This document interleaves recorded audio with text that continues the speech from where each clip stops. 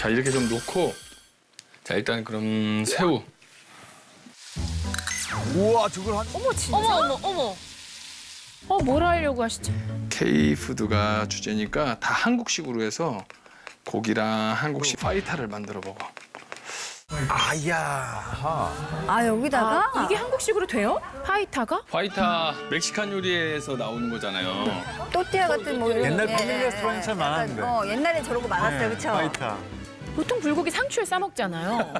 네. 네, 그래도 너무 맛있죠. 진짜 맛있겠다. 한국식 쌈으로. 그러니까 멕시코의 파이타를 한국식 파이타를 만들어 먹는 거야. 훈제 파프리카 가루 좀 쓸 건데요. 미치겠네. 아 미치겠다 훈파 훈파 좋죠 점점 비슷해지시는 것 같아요 요리 스타일이. 아니 원래 원조죠 괌에서 오신 저 사모님을 모시고 계시니까 와, 이렇게만 해도 맛있지 뭐. 자, 이제 비슷하게 하지만 한국식으로 다 바꾼 거잖아요. 고기도 고추장 고기로.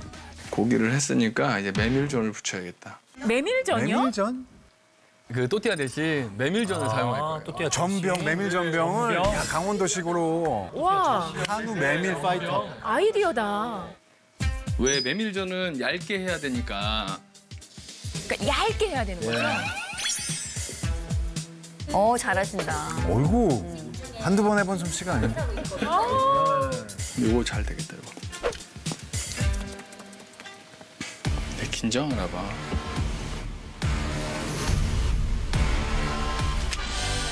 와, 잘 됐어, 잘 됐어. 어 너무 잘 붙였어 너무 잘 붙였어. 아 너무 만족했나? 만족할 아니, 만하네요. 반죽이 진짜 잘 돼가지고. 이 정도면 된 것 같아. 자 이번엔 소스를 한번. 오늘 화이타에 샤워 크림 샤워크림 그런 소스들을 많이 먹잖아요. 근데 이제 우리는 한국식으로 마늘 이번에 garlic mayo 소스를 garlic mayo. 와, 진짜 너무 맛있겠다. 보통 계란 노른자 같은 거를 넣고 마요네즈를 만드는데 이거 노른자 안 쓰고 만드는 거예요. 노른자 없이. 저거 진짜 한번 해보세요. 건강 마요네즈. 아 건강 마요네즈. 올리브유를 미리 넣어놨어요. 이게 약간 차갑게 넣어놔야. 어, 올리브유를 냉장고 안에 넣어요? 네. 근데 저거의 포인트는 다 차가워야 돼요.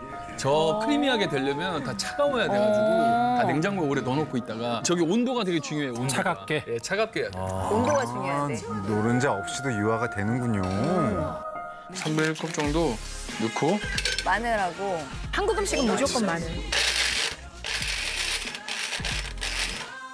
레몬 한 티, 차가운 올리브유를 반 컵 넣고 다시 레몬 한 스푼, 올리브 반 컵. 조금씩 교차로 넣어가지고 반복적으로 교차로. 아, 한꺼번에 하면 안 되는구나. 그러니까 올리브유 넣었다가 레몬 좀 넣었다가 이렇게 교차로 넣어가면서 계속 많이 저게 항상 모든 것들이 다 차가워야 되는 차가워요. 거죠? 차가우니까 예. 이게 되는구나. 아, 야, 노른자 없이 마요네즈가. 야 대박이다. 아, 진짜 신기한 것 같아. 보통 마요네즈는 느끼한데 느끼함을 딱 잡아줬어요. 마늘과 레몬이. 뭔가 되게 담백할 것 같긴 해요. 상큼하고. 어, 상큼하고. 응. 어머, 누가 오길래 이러는 거야. 아 너무 정성스럽게 하죠. 진짜 귀, 귀한 귀한. 손님인데 진짜. 되게 plating도 좋고. 외국인들이 봐도 낯설지 않은 K푸드. 어 그런 느낌이요. 와 garlic mayo. 야 이거 메뉴 있으면 사 먹을 것 같아 맞아. 메뉴 있으면 난 사 먹는다 어 생각보다 비주얼이 잘 나왔네. 되게 만족하고 오늘 되게 특별히 만족하시는 것 같은데. 아나 지금